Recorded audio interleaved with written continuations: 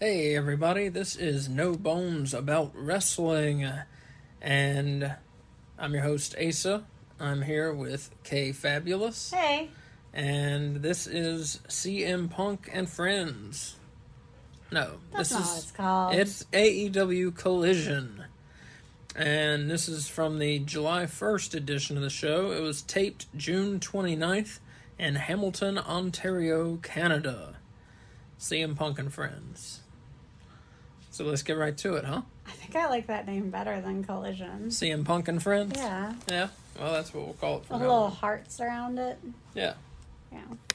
Uh, we have uh, little uh, snippets of promos to start out, which I, I liked.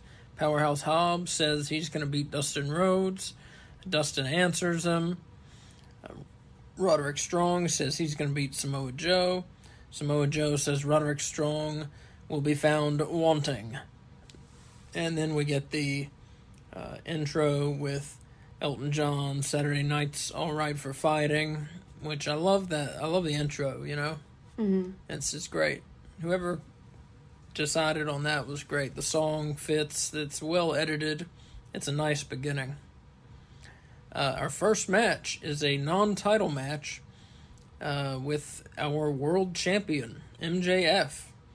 He's facing Kip Morst. So, Why'd you say his last name like that? I just emphasizing it so they can hear all the consonants. Yeah. Morst.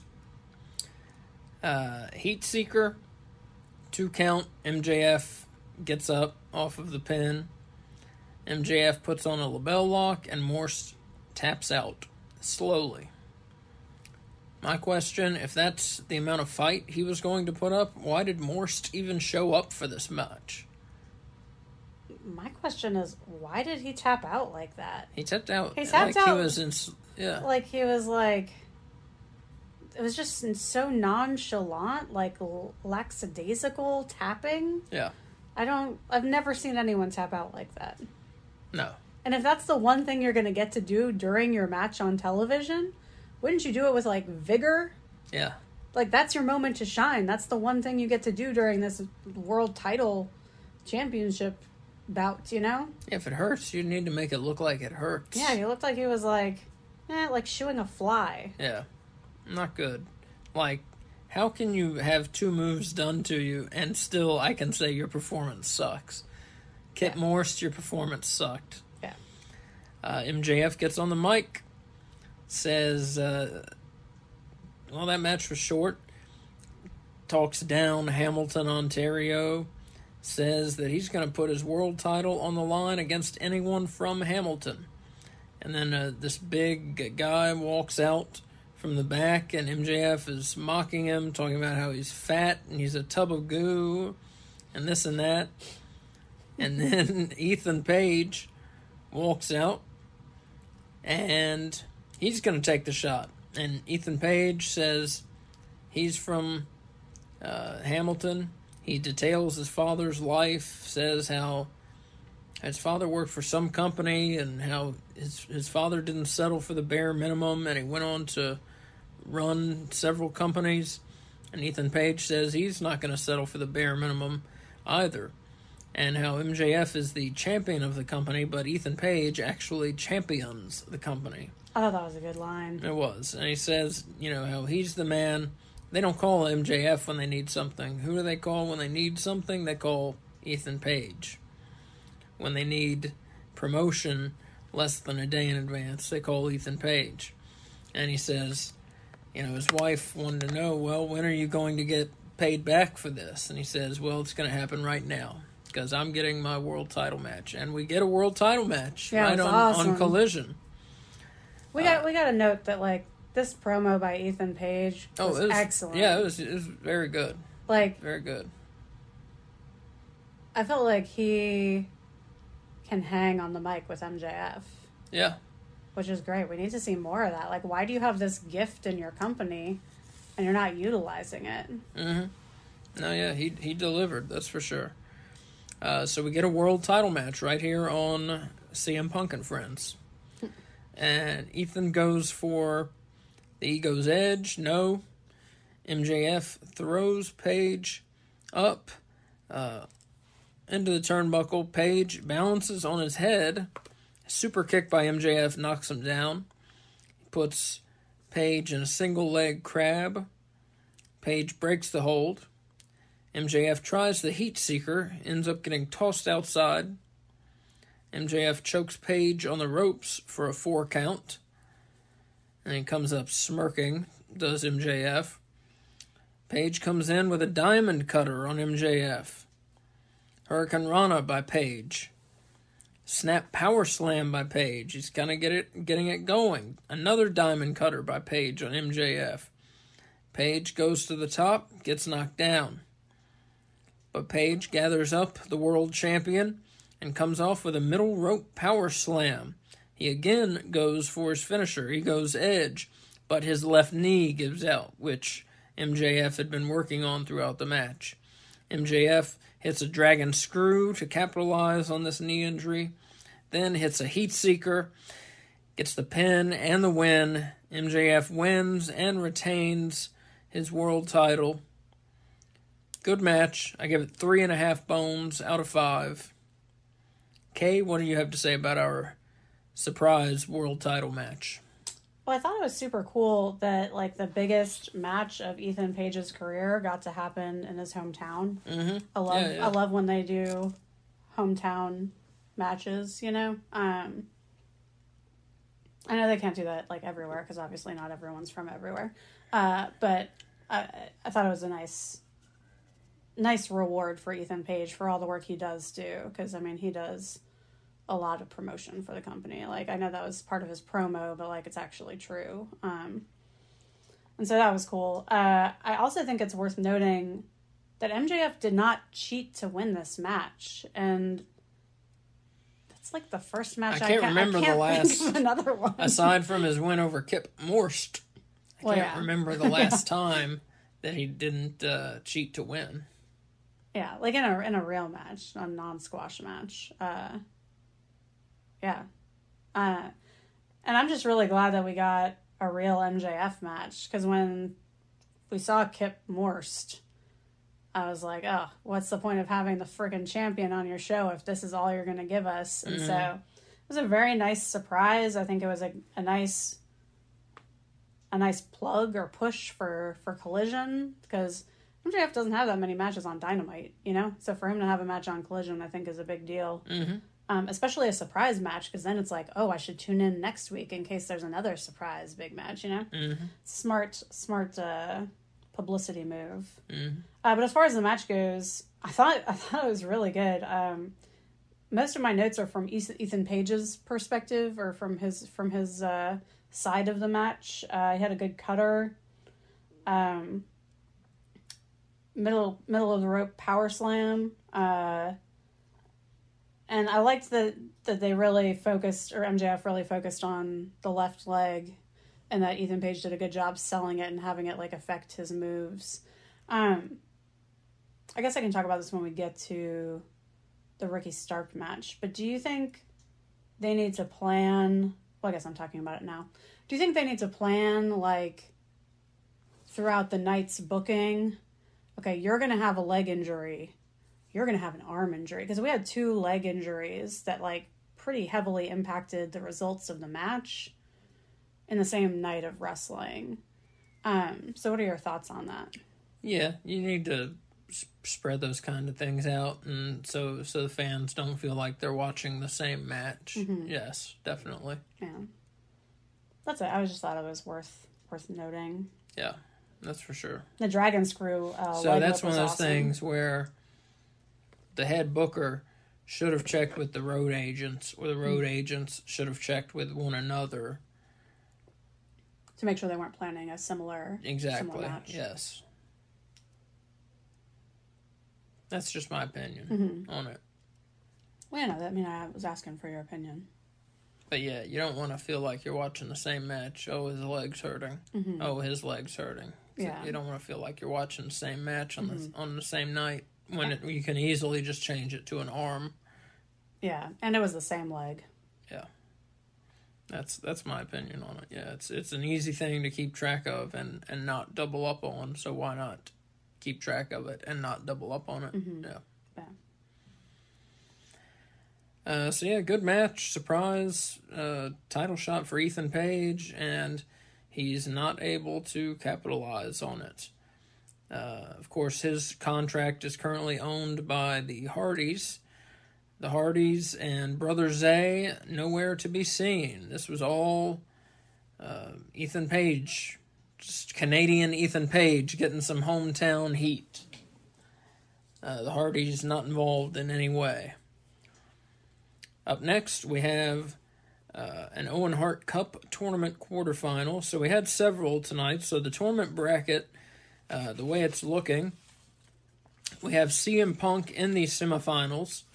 He will face the winner of Samoa Joe versus Roderick Strong. That is tonight's main event.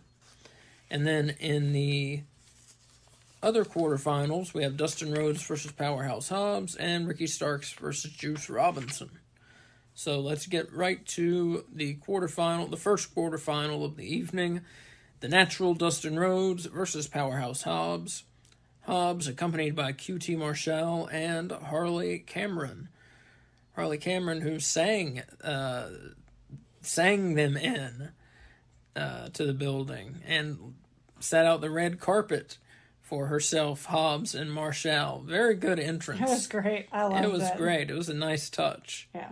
Very nice. And it never hurts seeing Miss Cameron either. Mm-hmm. Dustin has the upper hand to start with. Then he gets knocked outside. QT Marshall grabs Dustin, throws him against the ring post, and very soon into this match, Dustin gets some color. He is bleeding. Hobbs punches his forehead to, of course, open up the cup more, and then he wipes Dustin's blood all over his chest. I feel like I need to send AEW workers the bloodborne pathogens video that the school system makes me watch literally every year about how you're not supposed to touch blood that belongs to other people and why because i feel like they they need to be informed Why don't you share it with us? well i mean there's just a lot of a lot of diseases that are i don't i'm not going to do like the it's like a 20 minute video um, but it goes over the proper handling of blood what to do if you come in contact with blood and then the proper safety equipment used to clean up blood see the refs look like they've seen or had some kind of training because they at least pull out some gloves but So you're Just like- saying you think the wrestlers need to carry gloves with them? Is that what you're saying? no i think it's just super gross that's what i'm saying It's part of wrestling. like do they get tested ever or often Not or to my knowledge. Not to my knowledge, no. They're like, I mean, they didn't do it on this show, but like one of the matches this I mean, they certainly should like- after they come in contact Yeah. with. I mean, you're right. They, no jo- jokes aside, yeah, they certainly should. like it wasn't this week, uh, but last week I think someone licked someone's blood off of them. Like, Who was that? Someone Was licked someone- their bicep. yeah, it was gross. There was blood on their bicep, and they licked it. I forget who that was. Was that? No, it wasn't WWE. No, no, that was no, AEW. Yeah, was, of course it was AEW. Anyways, so back to the match. Uh, Hobbs wipes Dustin's blood all over his chest. Dustin ends up hitting a Cross Rhodes and then a pile driver, gets a two count out of it. Uh, hits a code red, gets a two count out of that. Dustin is on a roll. He's looking pretty good in this match and has total control over Hobbs. Marshall distracts Ro- Rhodes, and then Hobbs avalanches him in the corner. Then hits a spine buster.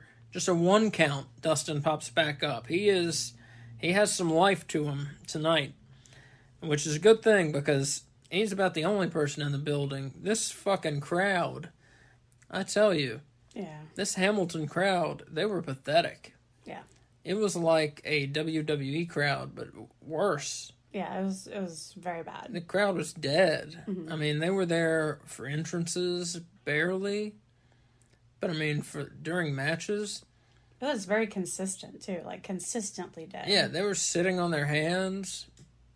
But, you know, very few fans cheering for anything Yeah. that was happening. Just like, why'd you even come to the matches? What it mm-hmm. was. It was it was not good. Didn't come across well on television at all. no. It, it was not good for AEW. I hate to say that. And one thing we talked about this obviously before, uh, while we were actually watching the show. Um, do you think that Ring of Honor is too long to put before a taping of I Collision? absolutely do. Yes.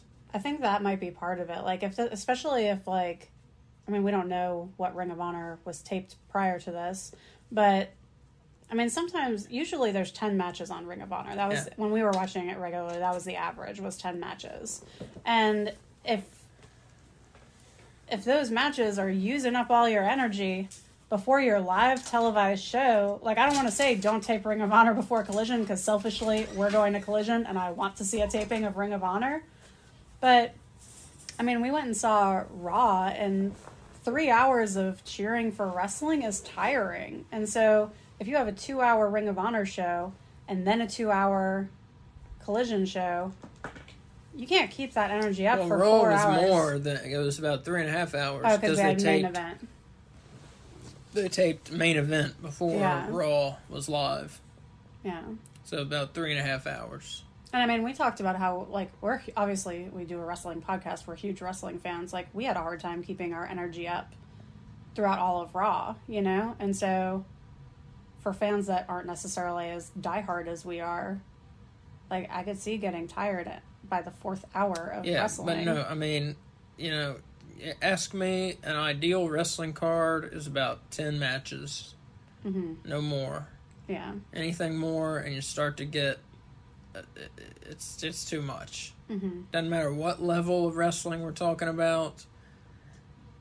Doesn't matter whether we're talking about men or women or little people wrestling. Doesn't Mhm. matter. Ten matches is about the sweet spot. hmm Uh, doesn't matter what kind of matches we're talking about. I'm telling you, ten matches is about the sweet spot. You get more, you're going to start losing the crowd. Yeah.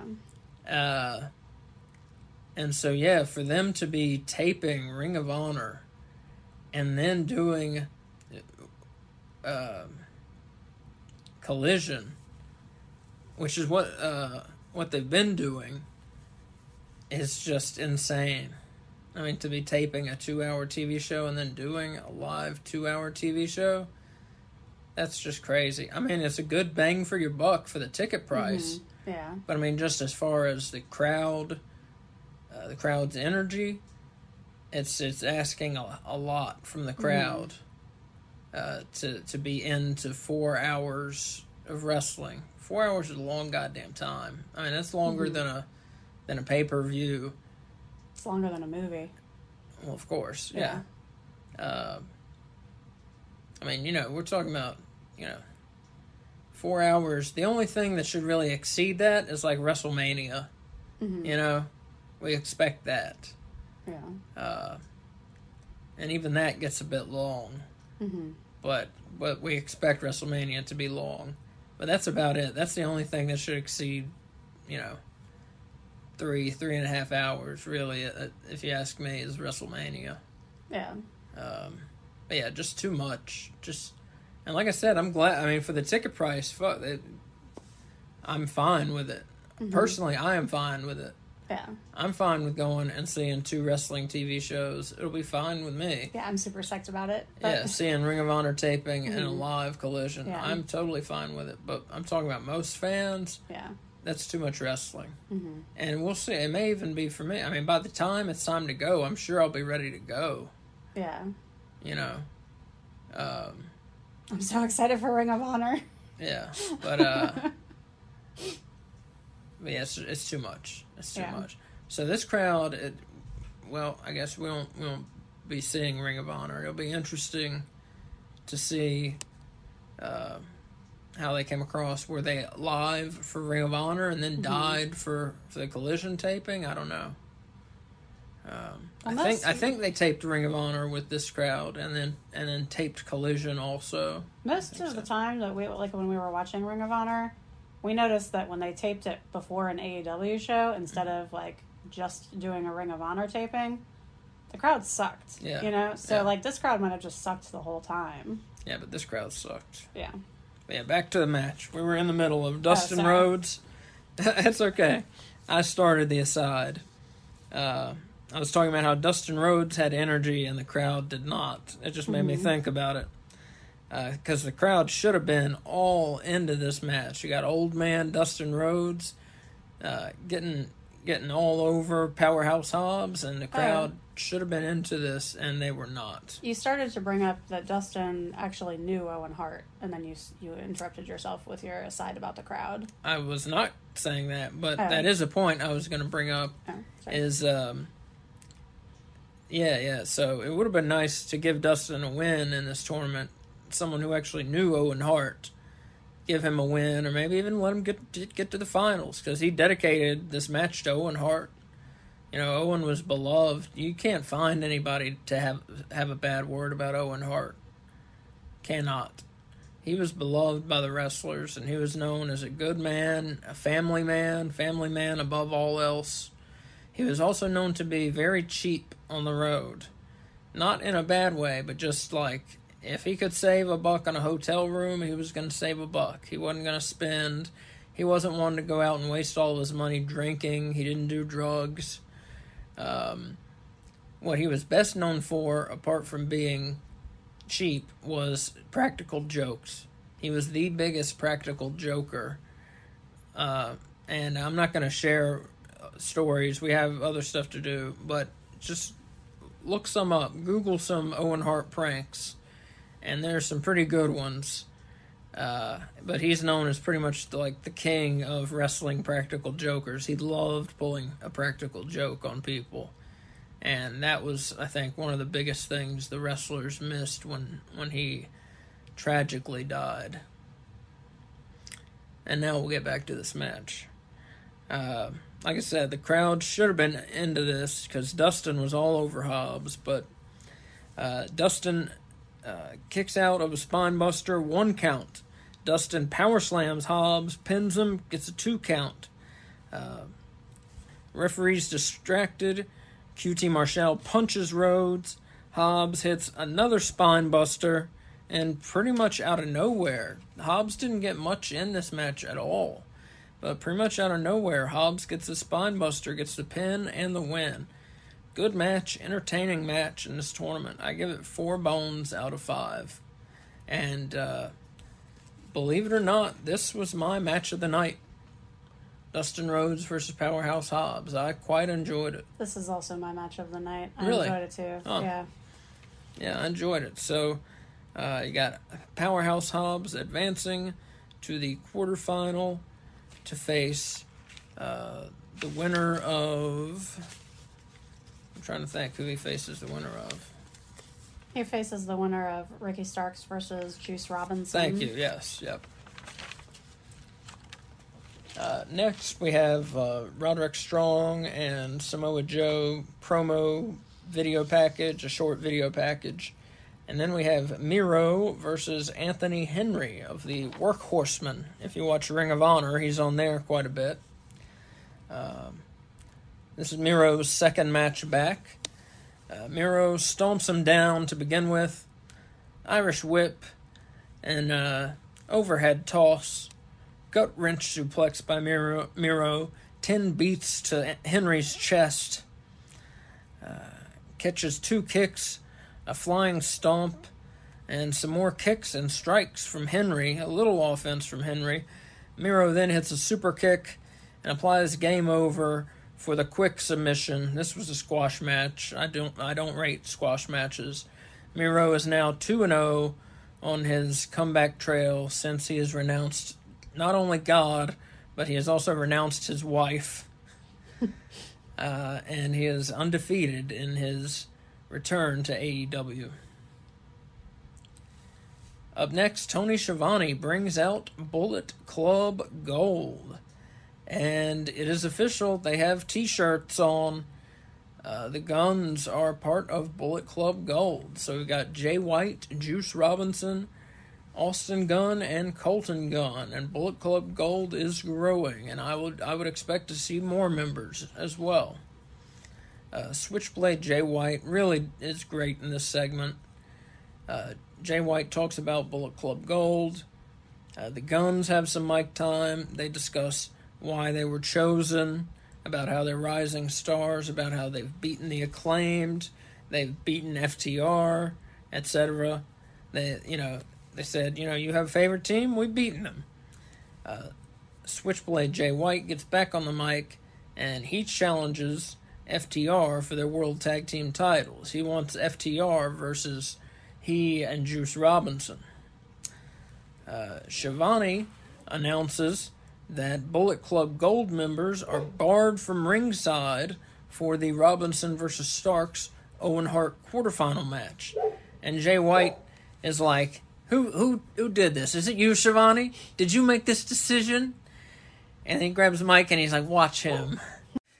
And Jay White also takes this time to address CM Punk. It's CM Punk's show, after all. And he he tells CM Punk, he says that if what was in his red bag the other week was his AEW world title belt, then he should just keep it in the bag. Which was puzzling because you thought Jay White was about to say, you know, then I want it. I want a shot at it. But it, it's not the way he went. He just told him to keep it in the bag. So that was it was odd. Why even bring it up if you're going to tell him to keep it in the bag? Yeah. It was odd. I didn't get that. I didn't get it either. I didn't get that at all. Uh, but this segment came across well. Uh, it was nice to see Bullet Club Gold together to show that the guns are part of it. Uh, it's nice to get a little mic time for the guns. The crowd actually seemed to be into this a little. One of the few things the crowd was into. hmm Yeah, I agree. Um, and Jay White was really great. You Oh, can see he why. You know, I, we don't watch Japanese wrestling. Nothing against it. We just don't have time. Uh, and so you could really see why so many people were so high on Jay White. Why they thought he was such a big deal coming into uh, either AEW or WWE mm-hmm. upon leaving Japan Yeah. because the guy has it in the ring and he has it on the mic. He's one of the best mic men in the in the U.S. I mean, immediately one of the mm-hmm. top ten, no doubt. Yeah. He is so smooth on the mic, and as a heel, and I can see him working as a face just as well. But he is a great heel, just a smooth, slick piece of shit mm-hmm. heel. You know, yeah. It, just a great job by Jay White. Uh, up next, uh, the opposing faction. That's the way we've kind of got it going. Is CM Punk's faction set up to oppose Bullet Club Gold? That feels like the way we're we're headed here on this show. Yeah. Well, I mean, uh, they announced that they were going to go after FTR's tag belts. Yeah. So, so I mean, yeah, I think that's definitely where it's going. Uh, so we have CM Punk, FTR, and Ricky Starks, and these guys have been running together for a couple weeks, and they're getting interviewed. Uh, CM Punk claims that MJF's belt is a replica from Shop AEW.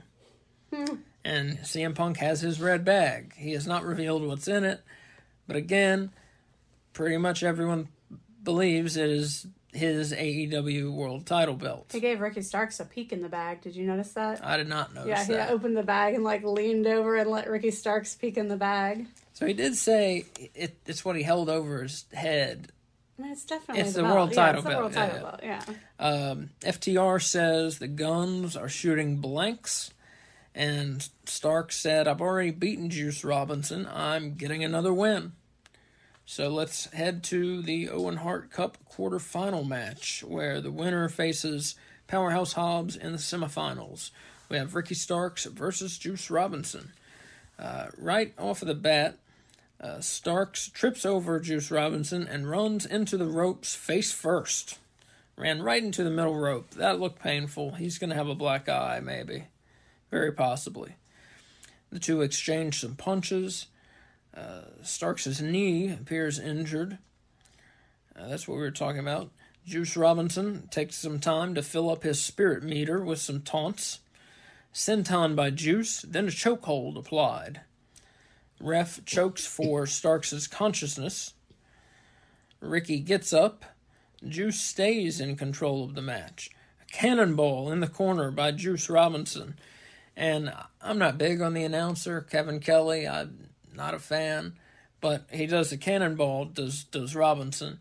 And Kevin Kelly says, Cannonball coming, which is a Caddyshack reference, of course. So I like that. That was my one point where I liked Kevin Kelly this week. Uh, Starks hits a clothesline and a DDT, coming back a little in the match until Juice Robinson slaps on a Texas cloverleaf hold. Juice hooks Ricky's tights for a two count pin. Juice went for a Hurricane hurricanrana off the top, but Ricky held on, and Juice fell to the canvas. Spear by Starks. Roll up by Starks. Pin and a quick win. Ricky Starks advances to the semifinals. Pretty good match here. Three and a half bones out of five. Bullet Club Gold comes out as though they're going to try beat down on Ricky Starks, but out comes CM Punk and FTR to prevent it. So we're seeing these two factions, well, a loose faction with the faces, but we're seeing them head to head. Uh, I like it. I don't think it's that loose with the faces because they have CMFTR t shirts. CMFTR and Ricky. And Ricky. like in parentheses, you know. uh, Lexi asks Christian Cage, uh, who is with Luchasaurus, uh, she asks Christian Cage why he's holding the TNT Championship instead of Luchasaurus. Uh, so Shawn Spears shows up. He addresses Luchasaurus. Uh, Christian tells Shawn Spears, he says, You're not dangerous. And Shawn Spears says, Anyone can be dangerous. They just have to meet the right person. And Shawn Spears wants to go after the TNT title. And Christian Cage told him there are no more open challenges. And he says, I know that. And so it wasn't really defined. Is he challenging him? Is he not? He didn't really put out a challenge. Yeah. And there was nothing made for if they're going to have a match. It was very uh, murky what was happening mm-hmm. in this segment. Uh, Christian Cage came off as a dick, came off great, as always. Luchasaurus growls at the end, and Christian Cage kind of uh, holds him back. So Luchasaurus came off great as he was supposed to, but the segment itself was confusing. confusing yeah. yeah. confusing. Uh, up next, uh, AEW TBS Championship match. The champion Kris Statlander defending against Lady Frost. Uh, we had a nice acrobatic sequence by Frost that led to nothing. Some pretty looking acrobatics, though. Uh, Statlander hits a suplex. Uh, Lady Frost wiggles around a bit and gets covered for a two count. Uh, Frost cartwheels over a prone Statlander and then drop kicks her right in the butt. Frost gets caught, but turns it into a tornado DDT on Statlander. Statlander hits a discus clothesline later in the match and then hits the Saturday Night Fever gets the pin and the win, retains the TBS championship. Uh, decent match. There were some spots that were missed here, a little sloppy. Uh, three bones out of five. Frost is very good at gymnastics. Excuse me, she's very good at gymnastics, but she's not always the best at putting the gymnastics together into a good looking wrestling match which well is said. which is what we need. Yeah, I think that's. Kris Statlander looked good here. Mm-hmm. She looked very good. Yeah. Uh, what do you have to say about this one, Kay? It was a little clunky for me, which was unexpected. I've seen several Lady Frost matches and several Chris Statlander matches, and both of them are usually pretty solid. Mm. Uh, yeah, I was so expecting I, more from yeah, these two. I feel like they're they just didn't have good communication or good chemistry. Like lots of like where you're supposed to grab the legs but you missed and so you got to like reach back to grab them again, you know? Mm-hmm. It just mm-hmm. lots of like little things like that. There weren't like that huge, add up. That yeah, add up. they definitely added up. There weren't like huge missed spots where it was like, oh my god, you know, but just like lots of like little things that made you go like, like that. Um, there's a good backbreaker from Kris Statlander on Frost early on after like she spun her around her arm like a like a twirl and then and then went into a backbreaker. It was a cool move. I liked it. Um, I feel like that is an appropriate use of her gymnastic skills for like selling the like power of a move or I mean the one where she uh she did like the cartwheel over over Statlander and then went into the backbreaker uh, or spinebuster rather. Uh, that was good. Um, yeah, I, I feel like there's a lot of gymnast to wrestler tran- transitions. Like a lot of people made that transition, you know. That's what WWE is doing, as I understand. In NXT, a lot of those women are gymnasts, Yeah. and and as, I understand, a lot of WWE's recent assignees are gymnasts who Mhm. they're trying to turn into wrestlers. Which I mean, I think I think it makes sense, but Yeah. I think gymnastics can have a place in wrestling matches, but I think that they haven't found that place yet. You know, like there are very few times where they do gymnastics moves where it makes sense for the match and where it comes across as believable. But some people can apply it very well. Look at you know Rey Fenix. Look at Yeah. Komander. I don't consider that gymnastics. I consider that more like acrobatics. I'm talking about like Okay. cartwheels and like somersaults and shit. You know. Um, I guess I'm mainly talking about women. Um, I got Okay. although although we do have Jack Cartwheel. Um, but Yeah. Well. I just I just think about like like Willow's cartwheel that she does in her matches, usually Oh. like once per match. Where like Pointless. pointless. Like like you're if you're adding it just for the sake of adding it, Yeah. You're taken away from the match, you Exactly, know? yeah, yeah. um, And so I feel like there were a few times in this match with Lady Frost where that was the case, where it was kind of like, well, why is she doing that? You know? Um, Yeah, because we're trying to make it a fight, and Yeah. there ain't too many times you're gonna do a cartwheel in a fight. unless you're doing a musical theater number that is a stage fight, you know? Yeah, like, yeah. like it's very out of place. Um, Yeah. But yeah, overall, this match was okay. I was a little bit dis- I was disappointed in it, you know, to be honest. hmm Uh, up next, we see Andrade El Idolo, and he says he's here for his mask. And he asks where the House of Black are with his mask. The House of Black, the Trios champions, they have stolen his mask. And there's a monitor behind Andrade, and luckily they appear on the monitor behind him, and they tell him it's uh, they tell him tranquilo, which means you know calm, and they say all in due time. Andrade is definitely not tranquilo. He kind of freaks out a bit, and he's shouting about his mask, and you know the mask he wears out before uh, his matches, and he'll take it off. Uh, unlike uh, a lot of Mexican wrestlers who you know wear the mask the whole time, he, his is more of a ceremonial thing. He'll wear it out and then take it off before the match begins. Um, but Andrade apparently really misses that mask and hates that the House of Black have it. And if this is leading to an Andrade Malachi Black feud, then let's have it because Yeah. man, both of those guys can go. Well, his two matches so far have been against Buddy Matthews and then Brody King. Mhm. So all we have left is Malachi Black for him to complete the trio, you know, and I would love to see that. Oh yeah. I saw them in NXT one time, and it they were fantastic. Oh, I bet. I mean, they're both so so good and, uh, together. I'm sure it's like magical. Um, so yeah, Collision, and again we're seeing on Collision uh, the theme no high flyers.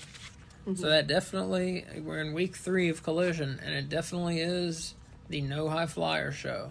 hmm It's the the ring wrestling kind of kind of brawler, uh, but you're you're in the ring. They're in, in high flying going on on Collision. Yeah. Uh, so we have some matches coming up. I'm going to go through them real quick. Uh, on Dynamite coming up, uh, some matches in the blind draw, wink wink, uh, tag team number one contender tournament. Swerve Strickland and Keith Lee versus uh, Darby Allin and Orange Cassidy. Uh, world champion MJF and Adam Cole versus two opponents who have not been named. In the women's Owen Hart Cup quarterfinals. Dr. Britt Baker, DMD, versus Ruby Soho of the Outcasts. Jon Moxley will have a promo on Dynamite, and Kenny Omega will face Wheeler Yuta of the Blackpool Combat Club. We then get a brief Omega versus Yuta video package, and then we get some matches for Collision for next week. Uh, CM Punk and friends. Uh, FTR, the World Tag Team Champions, are facing Switchblade Jay White and Jay, uh, Juice Robinson in a World Tag Team Title Eliminator match, where if White and Robinson beat FTR, then they will earn a tag team title shot. Uh, we also have in the Owen Hart Cup semifinal, the women's bracket, uh, Ring of Honor World Champion Athena faces New Japan Strong Women's Champion Willow Nightingale. Another Owen Hart Cup semifinal, Ricky Starks versus Powerhouse Hobbs, and another Owen Hart Cup semifinal, CM Punk versus the winner of Roderick Strong and Samoa Joe, coming up in a minute here. And CM Punk comes out to guest commentate the main event. We have a mix of cheers and, and boos, but again, the crowd not very in, not the pop. Either way, Yeah. you get for CM Punk. This crowd just is not not engaged, not mm-hmm. making noise anyway. They're not even clapping. Like if you look at the shots of the crowd, Yeah, like it's not just that they're not cheering. They're not even doing like a lazy golf clap. They're just sitting there. yeah, like they're watching it on TV. Yeah, it's very strange. yeah. I make more noise when I watch it on TV. Yeah, it's yeah, it, it's not like I said, did not come across well on TV at all Yeah. for AEW. I feel bad for AEW because this was a good show. Yeah, it wasn't their fault. Yeah, it was not their fault. No, it was the crowd's fault. Um, unless you want to blame them for putting on the Ring of Honor, Yeah. then it could be their fault. But it wasn't the performer's fault. Is my point. Mm-hmm. Is is what I mean. Because there wasn't a bad match. the The women's match was a little sloppy, but otherwise the matches were good. Uh, you had two squash matches, which were pointless, uh, but otherwise the matches were good. Uh, so CM Punk comes out to guest commentate, and we have our main event, the the final Owen Hart Cup quarterfinal in the men's bracket. Roderick Strong versus the Ring of Honor television champion Samoa Joe. And we have some chain wrestling to start. Strong drop kicks Joe on the outside through the ropes. Strong gets caught by Joe for the Uranage, uh, quick two count. Joe takes control, wrenching Strong's neck. There's a rising knee strike by Strong. Senton by Samoa Joe gets a two count off of that. Strong with several clotheslines. Joe won't go down. He drop kicks Joe down, gets a two count. Strong jumps at Joe in the corner, uh, gets a two. Olympic slam by Strong on Joe. Nice looking move. Gets a two off of that. Uh, Strong went for something. I'm not sure what. Joe grabbed him in the Kirifuda clutch. Referee stoppage. Samoa Joe wins, advances to the semifinal, and next week we are getting CM Punk versus Samoa Joe. Yeah. Uh, I give this match three and a half bones out of five. Uh, Kay, would you like, before I say what happened after the match, would you like to add uh, anything about the yeah. match? Um, I love CM Punk, as you know, Mm-hmm. and I love CM Punk both in the ring and on the mic. Mm-hmm. Uh, when he was in WWE, he got injured, and during the time of his recovery, they had him as a commentator, and it was some of my best, my favorite commentary in wrestling. Yeah, he was good here. Um, he was very good here. He was good here. I found it so distracting for him on the for him to be on the mic, but not because of him, but because of how the other two announcers were engaging him in conversation. Instead of calling the match and discussing the match that was happening like four feet away from them, it was like they were conducting an in-depth interview of CM Punk and his like life story, uh, or like his history with Joe and whatnot. And Right. and like while there's a place for that, it should be like sprinkled throughout while still calling the match that you're supposed to be calling. Like about halfway through, I was finally like, "Who the hell's supposed to be calling this?" And then finally, Kevin Kelly started saying things, the match was half over at that point. Yeah, the announcers one weren't calling the match. Two, with their questions, were making it blatantly obvious that Strong didn't have a mm-hmm. snowball's chance in hell of winning. Yeah, it was uh, just it was It, disappointing. it made for a limp main event, honestly, Yeah. because it was obvious Strong had no chance. And like CM Punk is a good commentator, and they just like ran all over him with their questions that I feel like he didn't get a chance to get into any kind of rhythm with with calling the match. It was just it was frustrating as a viewer. I hear ya. Um, he was good though in answering the questions. yeah, no, he, was. good. Yeah, um, He's all. I mean, he's always he's good with pretty much everything he does. So yeah, he's magic. I love him. Anyway, um, I was really so the only other thing that I want to point out, uh, Strong did an Olympic slam on Joe. Crazy freaking impressive. Joe is huge. Joe's a big guy. he is a very large man, and so to be able to to do that on him, I was like shocked. Like I'm still shocked. I mean, I saw it, up- and I'm like, I don't believe that it happened, even though I watched it happen. You know, like it's shocking. Strong lives up to his name. Yes, he does. He does. Uh, after the match, uh, Joe goes and gets a steel chair. He heads over to CM Punk at the commentator's table. Kevin Kelly cowards in fear. CM Punk grabs a chair and says, I got a chair too, buddy. So Joe is not coming after CM Punk. Joe goes back in the ring, puts the chair down in the ring, grabs Roderick Strong, hits a move. It's kind of kind of like a sidewalk slam type thing, but but puts Strong head first down onto the steel chair, and then they do a stretcher angle with Strong, which I I will tell you this honestly. I'm not I'm not one who is. I mean, if you listen to our show, you know I'm not one who is always looking to get offended. I am rarely, if, if ever, offended by anything. But I think it's in poor taste, or at least it's something to think about, doing a stretcher angle in a tournament named after a man who got stretchered out of a wrestling ring And then died. was when he was yeah because he fell to his death and then got stretchered out of a wrestling ring maybe let's not do a stretcher angle in his tournament I didn't even maybe think let's about let's that. we can have seven matches without doing a stretcher angle when everybody who watched that pay-per-view saw Owen Hart get stretchered out of that building out get stretchered out of that ring maybe let's Mm-hmm. not do a stretcher angle in in the Owen Hart tournament I didn't even think about that. I thought you were going with a let's stop doing a stretcher angle, which I think is where you should have gone. But like, I didn't even think about the Owen Hart piece. I just think it's in poor taste in general. But especially, I didn't. It didn't occur to me with the Owen Hart thing. But like in, in an industry where people have been paralyzed, I don't think it's in poor taste in general. No, I- I it's do. no, it's just a, Yeah. Mm-hmm. another way to play with people's emotions. That's what wrestling's all about. yeah, No, it's not important. Here it was in poor taste. yes, Definitely. yeah. I, I, when they did it, I could not believe it. I thought it was in, in very poor taste. And obviously, they just didn't think about it. Mhm. They Yeah. just didn't think. Obviously. yeah.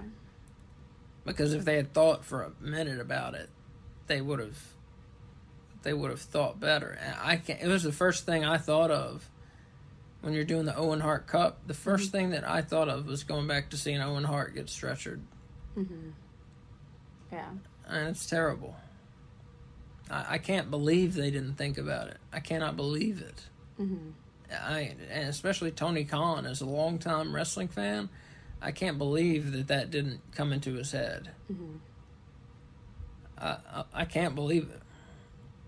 So yeah, some poor taste here. I thought, and it, it's rare of me to say that.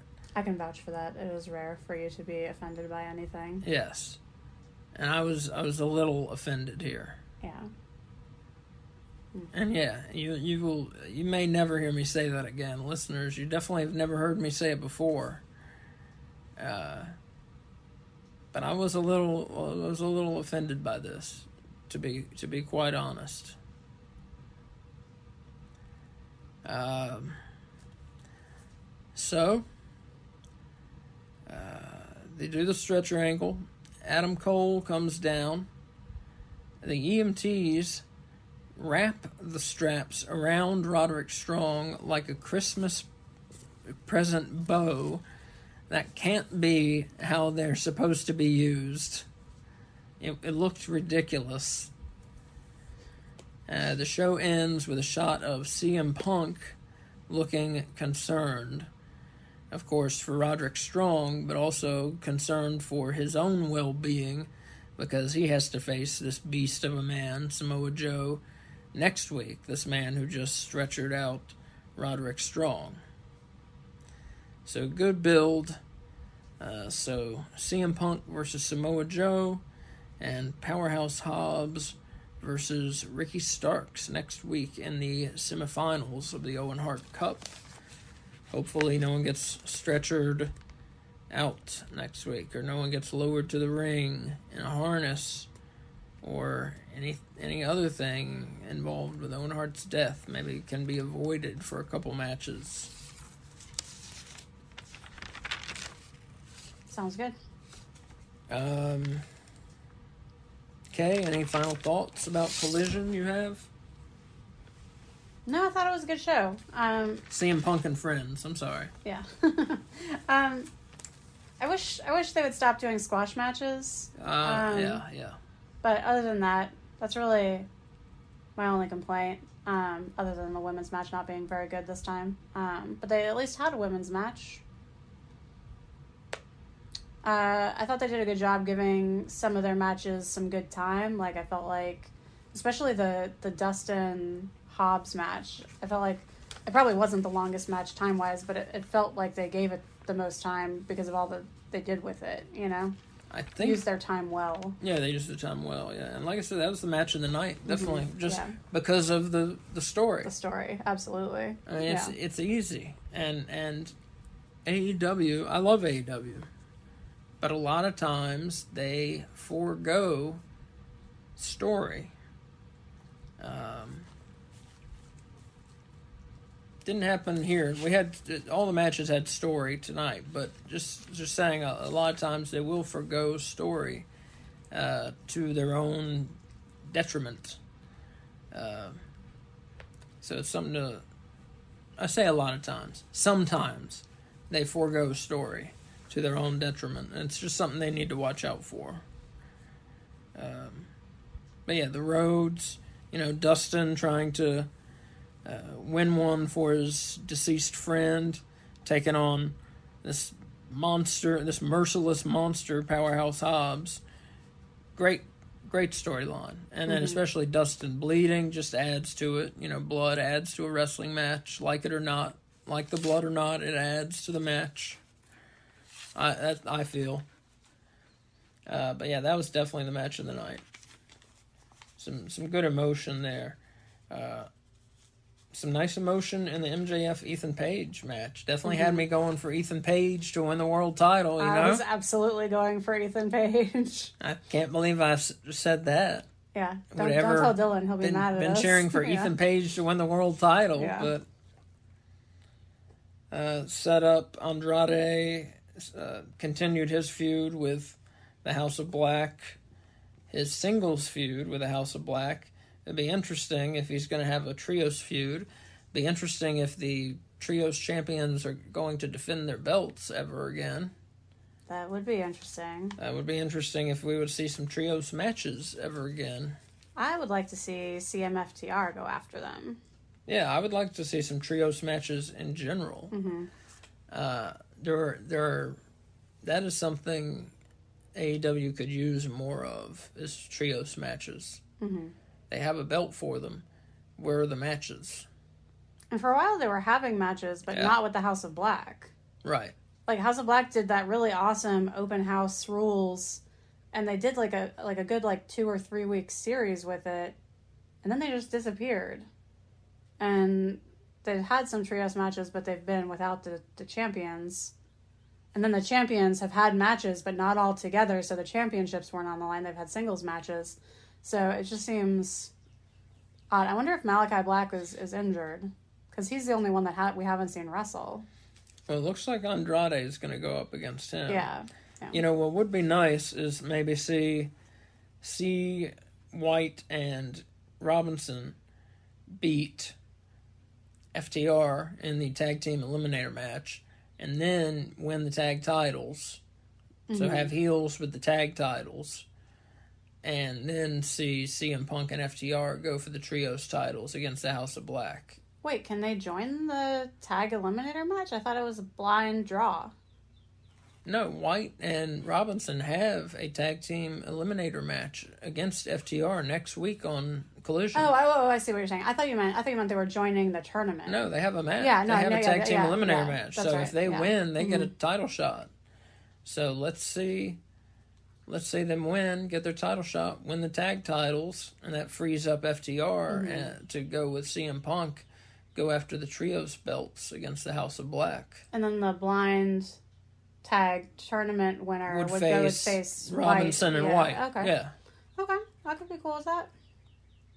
That's that's what I would like to see personally. Yeah. Well, real uh, realistically, that's what I'd like like to see. Honestly, what I'd like to see is the Lucha Brothers and El Hijo del Vikingo team up and take on the House of Black and win the trios titles. Yeah. That's not going to But happen. I don't think that's going to happen. So Well, they're still the Ring of Honor tag champs, I believe.